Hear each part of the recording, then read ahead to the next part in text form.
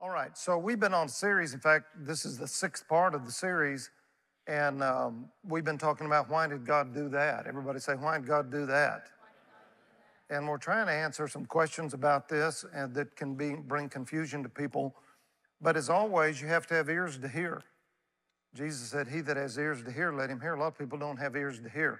In fact, they pay very little attention or as far as adjusting their life to it. And some of them think, well, I went to, you know, this is not the way we believed it in our church. That's not what I think. That's what not I was taught.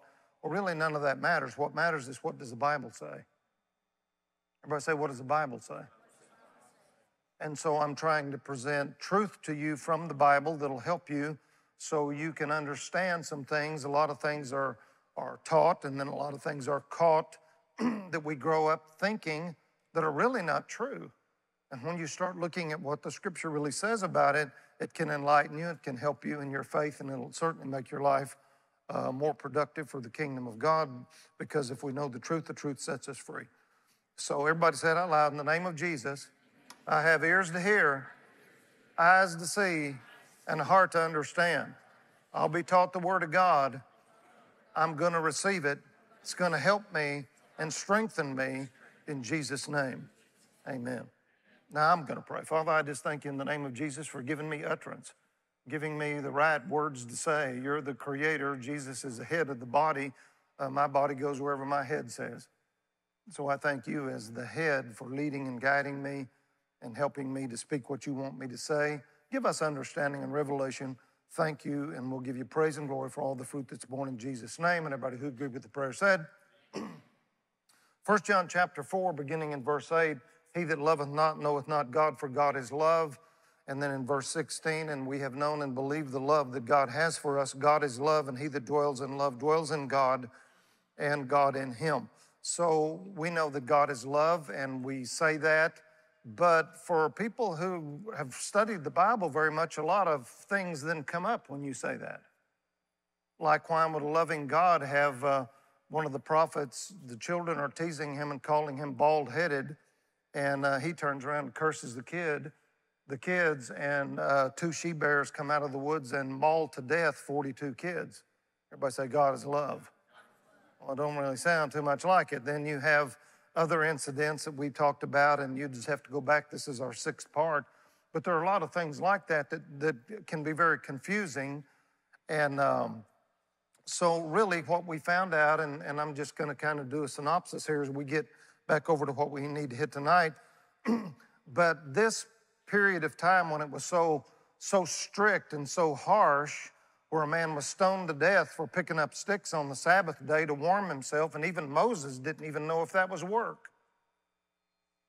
And yet he goes to God, and God says, Yeah, stone him to death. Well, this period of time was under a period of time called the law. And it was a 1600 year period of time that started in the book of Exodus and went through Malachi, which is most, it's 38 of the Old Testament books, which there's 39 of them. But it was a 1600 year period of time before that was the book of Genesis. It was a 2,400 year period of time. And the reason the law was given, it was given to actually restrain sin. And uh, the Bible says in Galatians 3:19, "Wherefore then serveth the law?" It was added. Everybody say added. Because of transgressions, till, which means until the seed should come to whom the promise was made, it was ordained by angels in the hands of a mediator Galatians 3:24 says that it was our schoolmaster to bring us to Christ. So it was it was added. The purpose was to restrain sin through the fear of punishment. Same reason that you would spank a toddler now. They may not understand all the dangers of what they do. And so if they're sticking their, you know, a piece of metal into an electric socket, you may not be able to explain to them all about electricity and get them to understand that, but you can explain to them if I see you doing that again, you're getting two swats on your butt. And they will resist something that is dangerous and hurtful, not because they understand it, but because they understand the fear of punishment. And that was the reason that the law was given, but it was a temporary measure until Christ could come, atone for man's sins, and God's laws could be in our heart. In fact, in Hebrews 9, notice how it explains this. For the ceremonies or the things that were happening, all of these washings and all the things going on in the Old Testament, deal only with clean and unclean meats and drinks and different washings, external rules and regulations for the body imposed to tide the worshipers over until the time of setting things straight, of reformation. Everybody say reformation. What do you mean? Well, he explains the complete new order. Everybody say new order. So, so the law, there's all of these ceremonies, all of this law that was given was, just like it says in Galatians, till the seed should come. The, the time of setting things straight or the time of reformation, the complete new order when Christ the Messiah shall establish the reality of what these things foreshadow. So a lot of these things were foreshadows and people don't even know it, and they're, they're worshiping the shadow instead of the reality. But it was a foreshadow of things to come. Notice what it says, a better covenant. Back up, back up to verse 10 again. Everybody say a better covenant. So the time of Reformation, the time of Jesus Christ, he brought in a better covenant. So then now go on to verse 11. But that appointed time came when Christ the Messiah appeared as high priest of the better things that have come and are to come. How do you know there's still some more good stuff to come? Through the greater and more perfect tabernacle, not made with human hands, not a part of this material creation. He went once for all into the Holy of Holies of heaven, not by virtue of the blood of goats and calves, by which to make reconciliation between God and man, but he went in with his own blood, having found and secured a complete redemption and everlasting release for us. So Jesus came, the time of Reformation, everything's been reformed. So God's not the same way. Things have changed since the old covenant in God's dealings with man. Right and wrong haven't changed. Murder is still wrong. The things that it listed that were wrong, some of the things were ceremonial things that were fulfilled in Christ, but the law of human behavior hasn't changed. But God deals with us through mercy because Jesus atoned, He atoned for our sins. Can I get an amen from you? And so now God offers us mercy. So that was kind of what we spent several weeks on. And then we started on this last week, and we're going to try to get right back into this because I didn't get really finished with it and I wanted to try to explain some more about it. We got into this. If God is good and God is love, why did God make the devil? Everybody say, why did God make the devil? Now, I mean, if you've studied the New Testament, particularly, you find out that uh, the devil is our adversary, 1 Peter 5 8. Your adversary, the devil, he says, be sober, be vigilant, because your adversary, the devil, goes about as a roaring lion seeking whom he may devour. Well, I mean, why would God create an enemy and put him down here that's our adversary and his, he goes around seeking people that he may devour? Everybody saying, why did God do that? So, so, so these things have to be answered here. We find out in Ephesians 6 he tells us, Put on the whole armor of God that you may be able to stand against the wiles of the devil, for we wrestle not against flesh and blood. You, you should know that scripture, but against principalities and powers. I'm in, I'm in uh, Ephesians, but don't worry about it. You can just stay where you're at. He said, You know, we wrestle against not against flesh and blood, but against principalities and powers and the rulers of the darkness of this world and spiritual wickedness in high places. We got all this conflict going on. Why in the world would God create a devil and have all of these evil spirits down here on the earth, and we've got we we have to deal with them. They tempt, they try, uh, they're they're sneaky. There's wiles of the devil. He's our adversary. Why in the world would God make the devil and put him down here? So we kind of got into this, but there are some things that we said about it.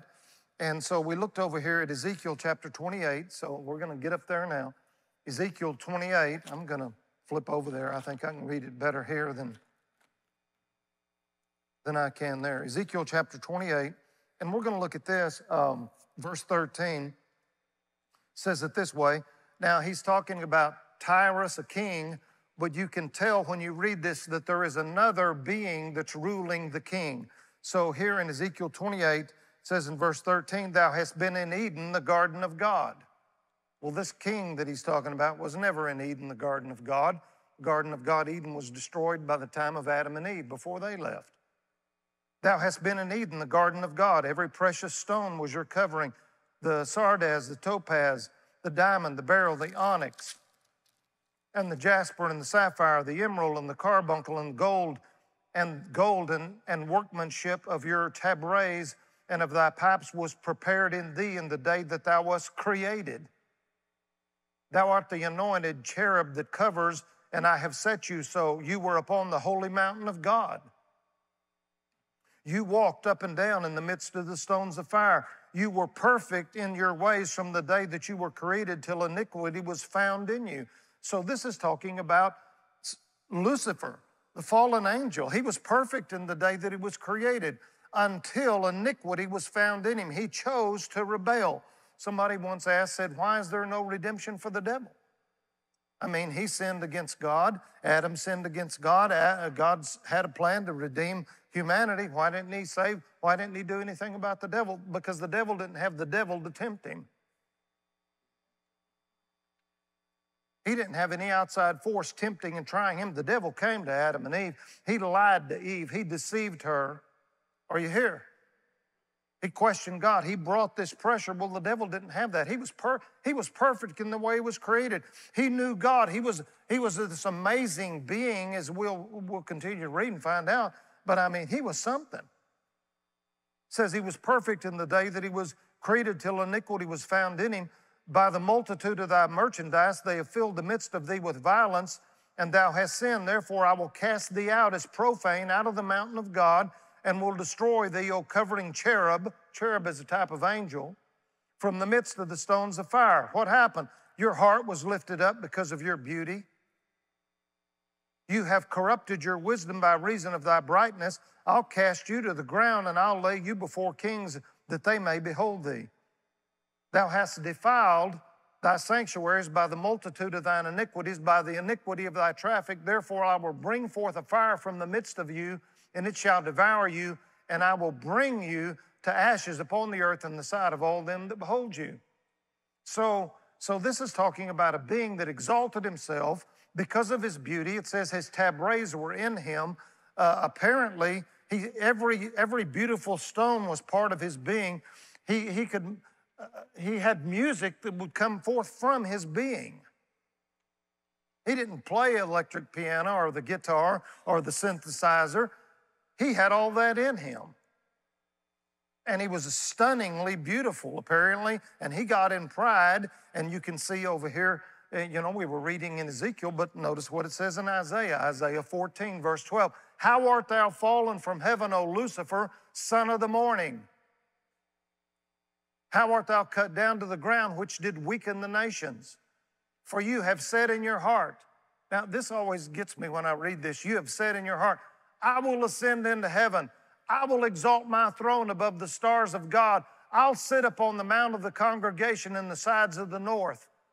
I will ascend above the heights of the clouds. Notice, I will be like the Most High. What? What is he doing? I'm going to ascend. I'm going to be like God. I'm, go- I'm going to be I'm going to be on the sides of the moor. I'm going to be like God. What is he doing? He's trying to use God's creative principles of how God created everything, God said and God saw. He's trying to take that principle that he learned from God and he's trying to say, I'm going to be like God. I'm going to ascend. I'm going to, my throne is going to be risen up. And yet, when he said that, his words ran up against somebody else's words, the words of God. And let me tell you what, that's not a good fight to get into. It says, Yet thou shalt be brought down to hell to the sides of the pit. They that look upon you shall narrowly look upon you and consider you, saying, Is this the man that made the earth to tremble and did shake kingdoms? Who? Lucifer, son of the morning that made the world as a wilderness and destroyed the cities thereof, that opened not the house of his prisoners? Is this the one that did that? And so you, you see this uh, talking about Lucifer, and he was a being that was created. He was perfect. He rebelled against God. He got into pride and said, I'm going to be like the Most High God. Um, how art thou fallen from heaven, O Lucifer, son of the morning? And he said, I will exalt my throne. Well, so apparently he had a throne. He had a throne. Well, where was his throne? And now, as, as I'm saying all this, listen to me. We don't know everything about the devil. We don't know everything about demons. The only information we have is what God wanted us to have. Are you here?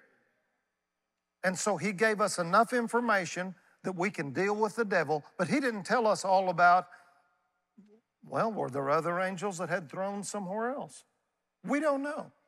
We don't know about all this stuff. All we can deal with is look at the facts that we can see, and we ha- and He gave us enough information, and Jesus showed us how to deal with these things that we can deal with it. But we don't know all the truth about it. I'm not telling you I do, and I know for sure you don't, and neither does anybody else. Because God didn't explain everything. He just gave us enough information for us to know how to deal with the things that we need to deal with. Are you here? So, he said, I will exalt my throne. Well, where was his throne? Well, I believe his throne was on earth. And he said, I'm going to exalt my throne like the stars of heaven. And I believe that he ruled a kingdom that was on earth. And you remember what Jesus said in Luke chapter 10? He said, I saw Satan fall from heaven like lightning. He tried to re- re- do a revolt against God and he got booted out. And then his kingdom on earth, his throne on earth was judged. And I believe that this took place before the time of Adam. And so to me, that's what makes sense. I believe he was cast out, and the creation that he ruled on the earth was judged. In my opinion, this is my opinion, you can take it, you can leave it. I believe that answers a lot of reasons, things for me that tell me uh, where did dinosaurs come from? Where, how come they dig up some something that is huge dinosaur? Well, I don't think it's been here from the time of Adam. Now, from the time of Adam until now, we know is about 6,000 years. You can track back the genealogy.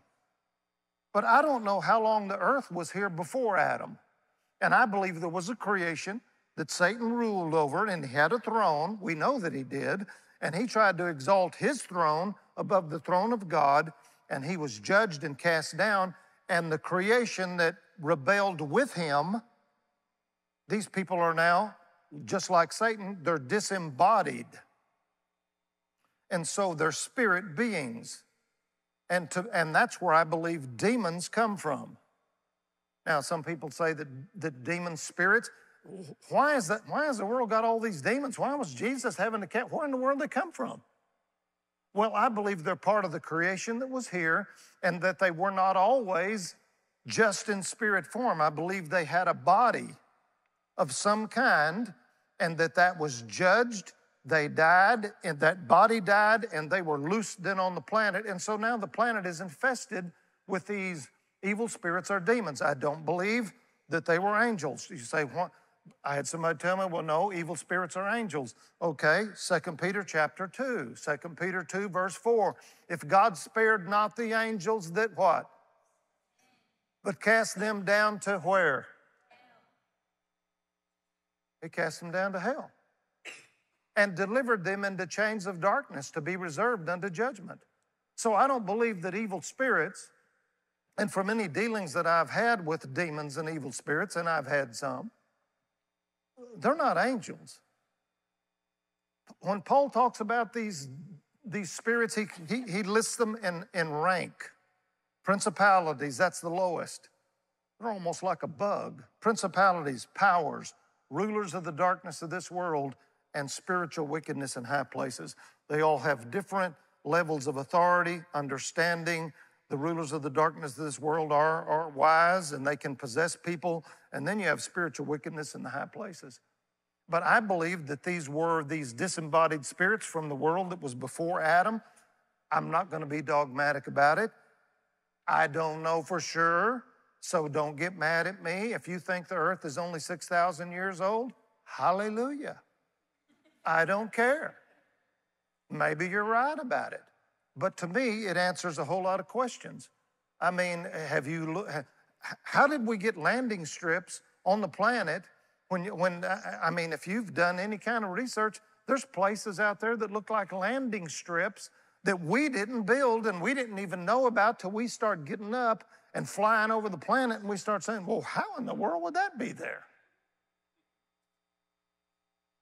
And if they dig, uh, you know, if they dug up some kind of something that had a skeleton and looked like this or that, the other, would that freak me out? If they landed a flying saucer on, on the courthouse in Decatur and beams got out, I wouldn't care. I would just believe they came from the creation that was before, and maybe they escaped the planet. And they'll still bow the knee to the name of Jesus. I don't care. Are you here? But we don't know everything about this, but it explains to me, it makes sense to me that that's why we have these evil spirits that are on the planet and it seems to be infested with it. Amen or oh me? Okay, so you just learn or, or just not. Okay, so it brings me to the second point. Why doesn't God do something about the devil now? Well, in Genesis chapter 1, go back over there. We're going to have to tie this together. Genesis 1, beginning in verse 26, you should know this. So here's God. He's creating man in his own image. I believe so. There was judgment, and then there was darkness on the face of the earth that was a result of the judgment. Then God started over with creation and said, Light be, and He's going to give somebody else dominion over this planet. Who's He going to give it to? Another being. Who is it? Adam. God said, Let us make man in our image, after our likeness. And let them have dominion over the fish of the sea, over the fowl of the air, over the cattle, and over all the earth. Over how much of the earth? Over all the earth and over every creeping thing that creeps upon the earth. So God created man in his own image. You could say there is one species, mankind, and there's two, there's two uh, genders, male and female. One species, two genders, male and female. There's not five genders, there's not 157 genders. Amen. There's two. Everybody say, God created them, male and female. That's all there is. If you believe anything else than that, you're a half-wit. All right. 28, verse 28. And God blessed them, and God said unto them, Be fruitful and multiply. And what are you doing? What are you doing about the earth? Excuse me. Replenish. Everybody say replenish. Well, you can't replenish something that's never been plenished. Remember, I talked about my, what did I talk about being replenished last week? Tootsie Rolls. I told my wife, hey, you better replenish my Tootsie Rolls. So God said, We're going to make man in our image. He said, You need to replenish the earth and you need to subdue it and you need to have dominion over the fish of the sea, fowl of the air, so on and so forth. So He gave mankind dominion. All right. So in Genesis 2, verse 2, listen to this. On the seventh day, God ended his work which he had made, and he rested on the seventh day from all the work that he had made. So we know that God, God created the earth. He worked for six days during this recreation of the earth or, or replenishing of the earth for six days, and then he rested on the seventh day. Okay, so, so why doesn't God do something about the devil now? Well, we know that here's what I believe about it, and I've, uh, you know, there are some other scholars that believe this. I'm not claiming to be a scholar, but there is a earth lease that God gave dominion to mankind for a 6,000 year period of time, six days, and on the seventh day will be the millennial reign of Christ because a day with the Lord is as a and a thousand years is as a day. Now, that's I, that I know in one way that's saying that God is eternal, He stands outside of time. But these, I believe you can go to the book of Genesis and you can kind of see God's entire plan. So I believe for six days or 6,000 years that Adam had dominion on the earth. And in the 7,000 year, Christ is going to come back and he's going to rule for a thousand years. So when Adam sinned, he turned his dominion on the earth in Luke chapter 4, right? Luke 4, did I give that? I don't think I gave Look, look at Luke 4. So here's the temptation of Jesus. The devil taking him up unto a high mountain showed him all the kingdoms of the world in a moment of time. And the devil said unto him, All this power, that's the Greek word exousia, which means authority, will I give you and the glory of them, for that is delivered unto me, and to whomsoever I will, I give it. Well, who delivered it to him? Adam did. Adam committed treason against God. And Adam delivered the dominion over the whole planet to the devil. So I believe for a 6,000 year period of time, the devil has a right to be down here. He has a right. And, and that explains a whole lot of other things, like in Luke chapter 8. Look at Luke 8. Okay, as they were sailing, he fell asleep, and well, is that where I wanted to go? I don't know if that's where I wanted to go. Um, that's not where I wanted to go. Let's go to Matthew 8. Matthew 8, that's where I want to go. Matthew 8, verse 28. Did I give you all the wrong verse? I want verse 28, Matthew. No, I want Matthew 8, 28 through 32. All right. When he was come to the other side of the country of the Gerasenes, there met him two possessed with devils coming out of the tombs, exceedingly fierce, so that no man might pass by that way. And behold, they, these evil spirits inside these possessed people, cried out, saying, What have we to do with you, Jesus, thou Son of God? Are you come here to torment us before the time? They know there is a time. And there was a good way off from them a herd of, of many swine feeding. So the devils that were inside this man besought him, saying, If you cast us out, allow us to go away into the herd of swine. And he said unto them, Go. And when they were come out, they went into the herd of swine, and behold, the whole herd of swine ran violently, violently down a steep place into the sea and perished in the waters. Well, now, okay. Why, why did Jesus let him go into the herd of swine? I mean, do you ever think about these things? What I think about is why didn't he say, uh, because he was possessed with, with all of these demon spirits, and they said, let us, let us go into the herd of swine. Why didn't Jesus say, no, you go into the pit. You get out of this planet, go to hell. Why, why didn't he do that? And they wouldn't have been here. Because he, he let them go in the swine. The swine run and drowned. Soon as their bodies are dead, th- these things are loose again on the planet. Why, didn't, why didn't he just make them leave the planet and go? Because I believe they have, for about a 6,000 year period of time, they have a right to be here and that you can't cast them out. I've heard de- preachers say, Well, I'm going to cast you out and you go to hell. Well, they're not, they're not going. They have a right to be here on the planet, or Jesus would have cast them out and commanded them to go into hell. But he didn't do that. He just made them leave people, or they can be an animal sometimes. I mean, if you have a cat, be very careful. But anyway, I just thought I'd bring it up. Sorry. But, but these disembodied spirits, they, they want to have expression in the world, and so that's why they try to be inside a human body or they try to be inside some type of animal, and you can't just make them leave the planet. Jesus didn't. He allowed them to stay even in that region, and that's why you'll find in certain places there'll be uh, maybe way more demonic activity than there is somewhere else because people yield to them and give place to them, and so that's exactly where they want to be. Can I get an amen from you? All right, so, so they have a right to be here in the earth, I believe, for this 6,000 year period of time. What happens? Okay, at the end of the 6,000 year period of time, what happens when Jesus comes back? What's the first thing he does? He sends an angel, chains up the devil, and throws him into a bottomless pit. All of a sudden, he's gone off the planet. Are you here? How come? That time's up. You don't have any more rights to be down here. And so at the end of that 6,000 year period of time, boom, he goes into the pit. He's going to be there until he's loosed for a little while to tempt some of the people who were here and didn't ever have to make a choice. So that's why I believe God doesn't do anything about the devil right now. He has a right to be here on the planet. Third thing is this I got to hurry up. Listen to me. Why does God allow evil? Why does God allow evil? Well, He allows evil because of Adam's sin. Adam sinned.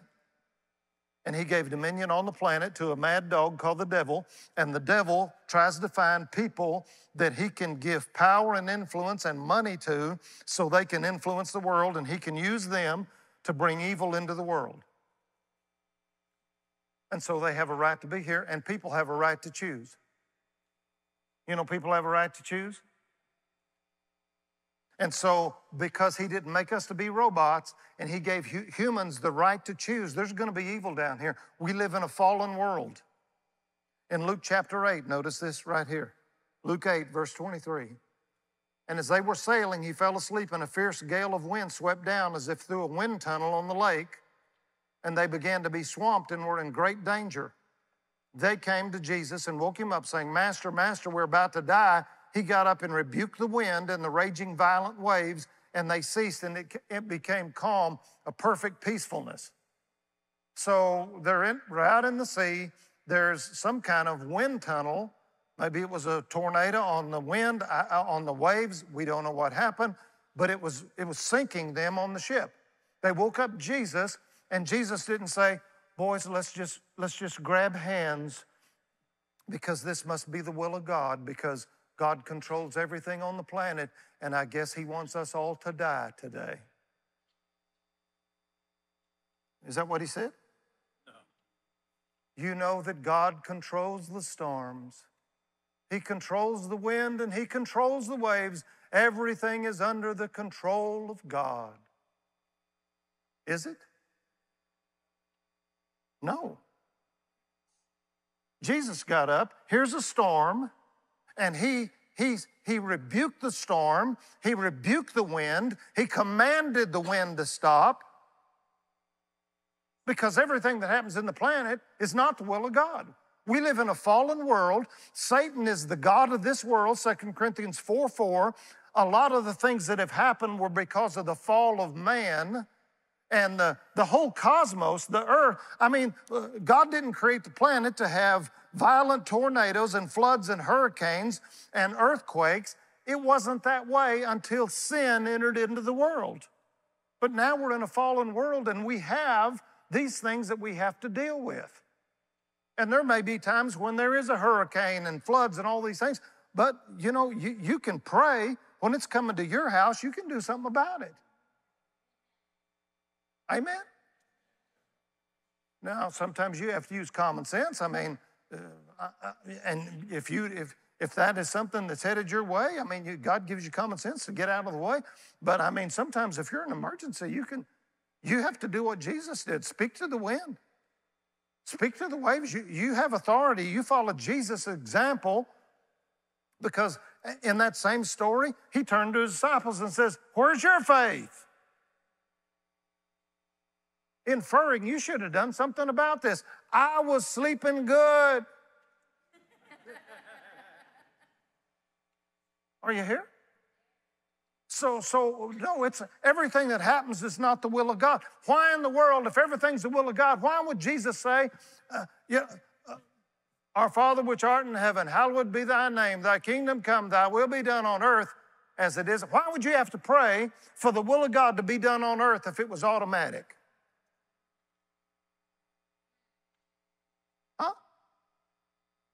If everything that happens on the planet, that, that, that, is, that is totally wrong.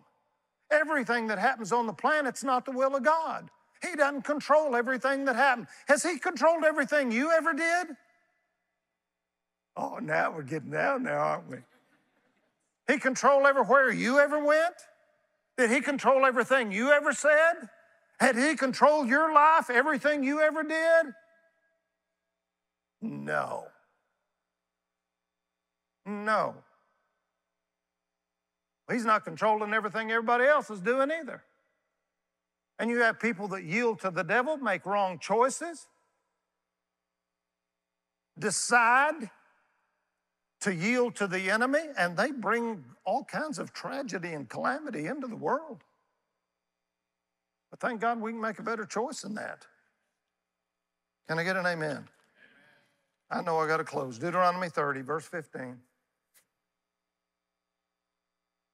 See, I have set before you this day life and good and death and evil. In that, you know, you know, people have choices in life. They have life and good, or they have death and evil.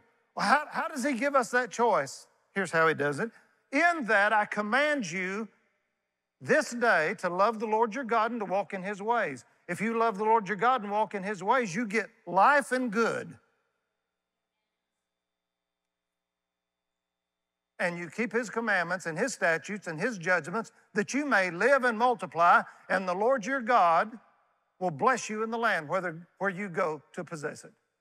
But if your heart turn away, and there are multitudes on the planet, their hearts turned away, and, you, and they do not hear, but you shall be drawn away and worship other gods and serve them, or do your own thing and make yourself your God. I denounce unto you this day that you'll perish, and you shall not prolong your days upon the land whether you go over Jordan to go and to possess it. So I call heaven and earth to record this day against you that I've set before you life and death, blessing and cursing. Therefore, shh, what, what are you supposed to do? So, so you mean you can make choices in life that are going to be cause blessing or cursing? Well, I thought just God controlled everything. Well, well, if He controls everything, then, then what do your choice have to do with it?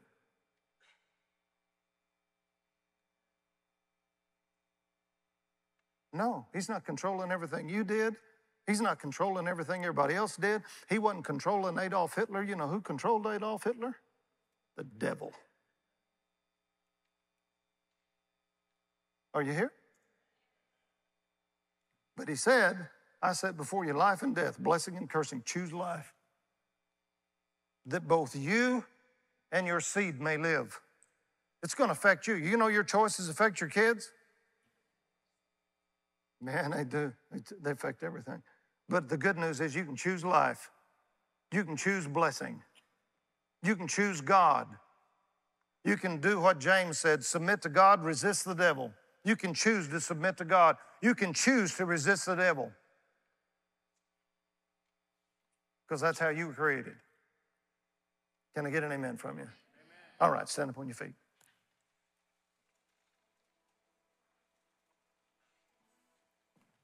I've set before you this day life and death, blessing and cursing. Choose life.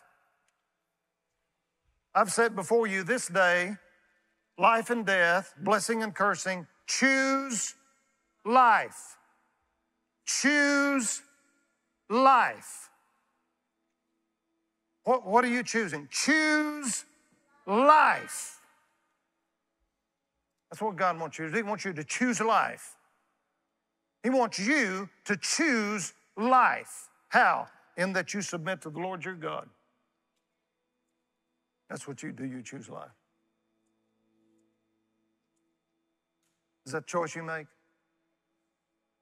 Say this out loud. In the name of Jesus, I choose to submit to God and to resist the devil. I choose to walk in the ways of God. I choose to receive abundance of grace and the gift of righteousness. I choose life. I choose submission to God. I choose life and life more abundantly because I choose Jesus. I choose to be obedient. I choose to serve God. I choose the ways of God. Hallelujah. I choose life in Jesus' name. Amen and amen. Give the Lord some praise for that. Thank you, guys. Hallelujah.